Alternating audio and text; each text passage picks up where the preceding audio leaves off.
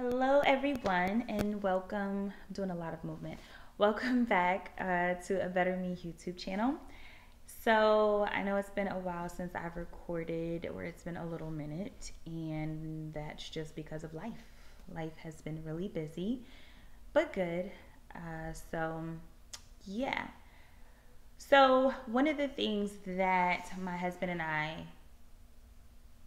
okay, if you just heard a noise, it was little air freshener letting out some scent in the house. Anyways, so one of the things that my husband and I do is we uh, do campus ministry. And so, what that is, is basically God's work, but on a college campus setting or in a college campus setting. So, we lead students to Christ. We do a lot of discipleship and mentorship, which is that intimate one on one kind of uh, setting with individuals that just gave their life to Christ or desire to grow more in Christ. Uh, also, we just do a lot. do a lot of traveling with ministry. So, one of the things that we do is travel to different college campuses and we help set up fellowships there. And we're a part of this amazing ministry and organization called Bethel Campus Fellowship. And so we basically oversee North Carolina and we kind of oversee all of the operation that takes place in North Carolina. So we juggle a lot, but we really enjoy what we do and we enjoy doing it together.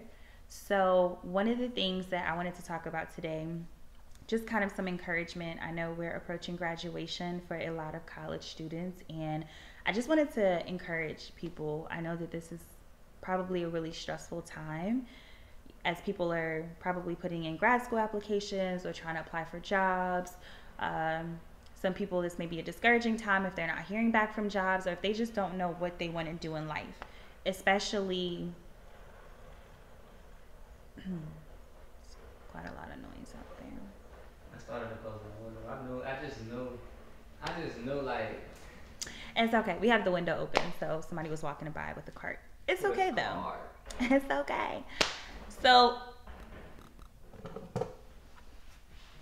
thanks, babe. But, anyways, it's a really stressful time, especially when you have parents and family members who are probably adding to the stress as far as their expectations from you and you know what are you doing with your life kind of thing uh it yeah it could just be a lot. So i just wanted to encourage you. When i graduated with my bachelor's i went on i immediately went into grad school and my grad program was um, 10 months. So i started i graduated in may started my grad program in july and i finished the next may and I remember upon graduating or getting ready to graduate with my master's, I had this whole idea and plan set in my mind of, you know, getting this big time job and just what life after graduation was going to look like. And it wasn't that. and not in a bad way. Uh, you know, I started applying for jobs and I didn't really, I didn't hear back from a lot of places. And so I remember really just praying and asking the Lord to lead me and I remember in my quiet time, the Lord saying, or I was like, oh, I'm going to get a big time job. Like I was just, you know, imagining, just, you know, kind of away in my head of what life after graduation was going to be like. And I remember hearing the Holy Spirit say, no full time work. And I was like, well, that ain't God. That must be the devil trying to discourage me. You know, that can't be God. And when I sat there for a minute, I heard him say no full time work. I need you to learn how to be a wife. And for those that don't know, around that time, I, you know, was getting married. So uh, I was about to graduate from being a student to being a wife and, you know, entering into the workforce full time.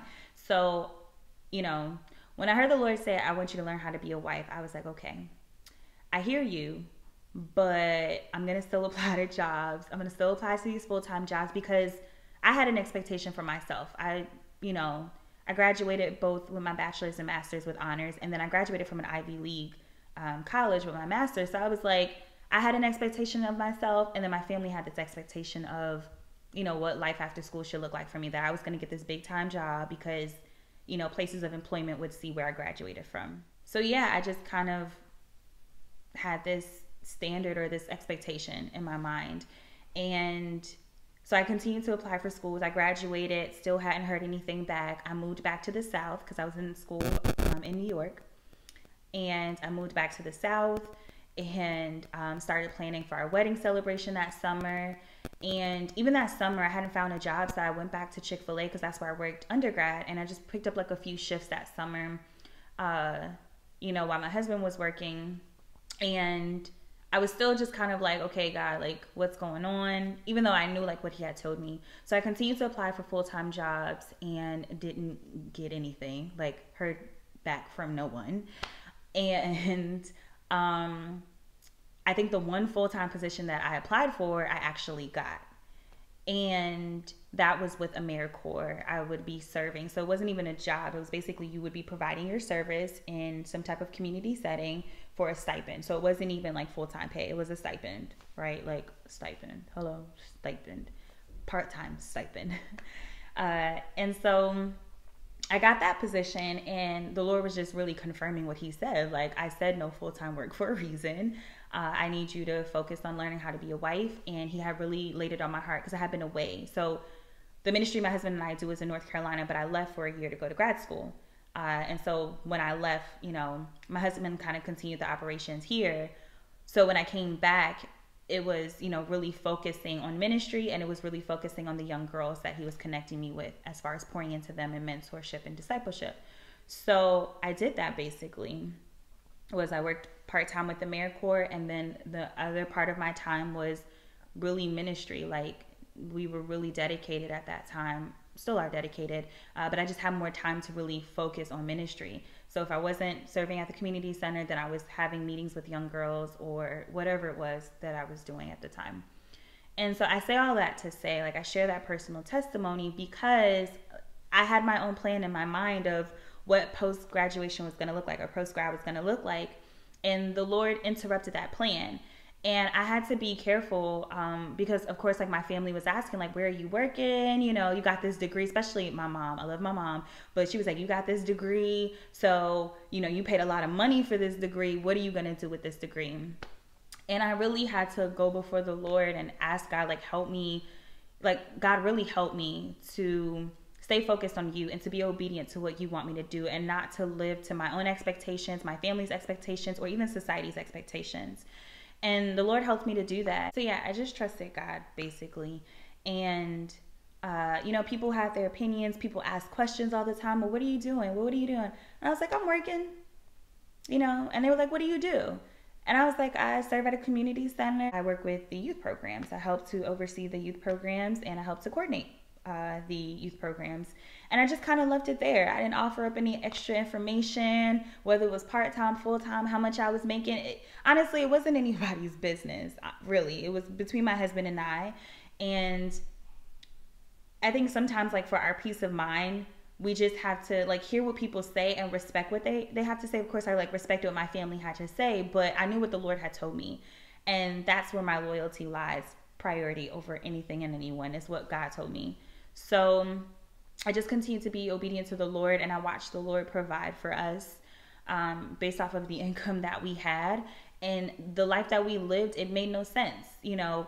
Um, and not that we were living like extravagant lives because we're not extravagant people, but looking at our income, honestly, it just didn't match to the life that we were able, that the Lord was blessing and gracing us to be able to live.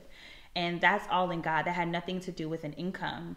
Um, and so like that's also part of the testimony is that like sometimes we can put so much emphasis on you know where i got my degree from and you know what kind of job that i have. But at the end of the day the lord had to really show me like samantha columbia university is not your provider. I am your provider you know? And so the lord removed what could have been an idol. So he removed you know a job. He removed people being able to say that we have what we have or we're blessed the way that we're blessed because of columbia. No columbia had columbia was great right? It was a great learning experience but it was the lord that provided for us. And the lord will share his glory with no one. So I can't give credit to a job, this full time job. I can't give credit to anything or anyone else. Like it was literally the Lord that provided for us and took care of us. If you're at a place where you're about to graduate and you're like, what am I going to do with my life? Like it sounds cliche, but really just trust God. Like really pray about it and give it to God and say, okay, God, just lead me and guide me.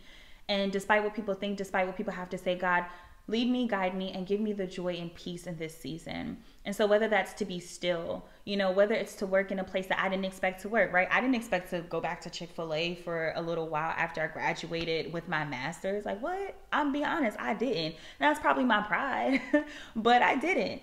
And so, you know, I just really had to trust God and where He had me and just kind of allowed Him to lead me. And so, you know, trust God. Like, honestly, trust God. And even if the Lord opens a door or an opportunity for you to work somewhere that you didn't expect to work, um, allow it to be a humbling opportunity, but also really look at your jobs as something to help develop you and to cultivate you. It may not be where you want to be ideally, right? But it's stepping stones to get to where you want to get overall. So use those opportunities to be cultivated, to be developed, to meet people, to network, um, to really figure out what you like versus what you don't like. And you know just allow the lord to use those opportunities even if it's not what you thought it would be.